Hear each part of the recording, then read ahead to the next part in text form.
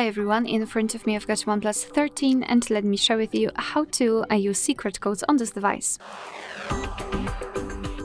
So let's start with opening the um, dialer, tap on the keypad and let's start with the shortest code. The first one is asterisk pound 06 pound.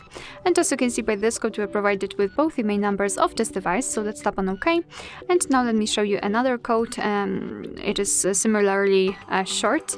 It is asterisk pound 07 pound. And thanks to it we can check the maximum SAR level, so the head and the body of the device. Let's tap on OK and let me show you another code, the easiest to remember I suppose. It is asterisk pound 1234 pound. And here we can check the version of our device.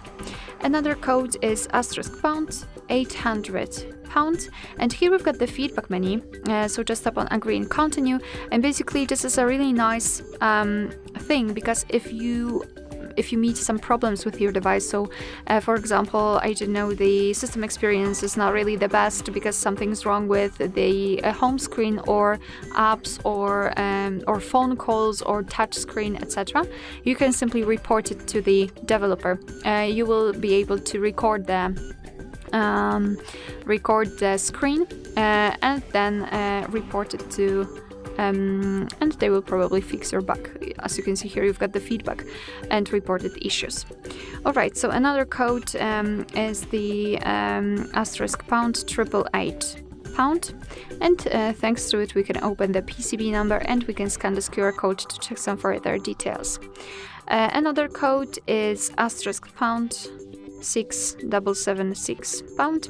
And here we've got the software version so we've got technical information about our device so we can check the model a baseband version a master date or branch. Let's go back and let me show you the last code, uh, which is asterisk pound asterisk pound double two five pound asterisk pound asterisk. And here, thanks to this code, we can check the calendar information. So here we've got all the events gathered in one place. We can check some family events, holidays in your country should also appear right here, or events attached to your mail. So this is the best um, place to check the events because here they're grouped into particular sections. Alright, so that will be all. Thank you so much for watching. I hope that this video was helpful and if it was, please hit the subscribe button and leave the thumbs up.